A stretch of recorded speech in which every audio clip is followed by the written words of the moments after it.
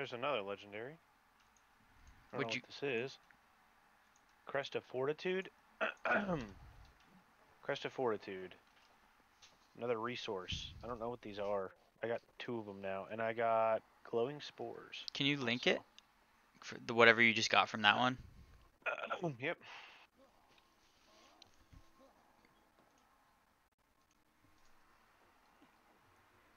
Cool. So from si the Siren's Brute, we just got another legendary resource, Crest of Fortitude.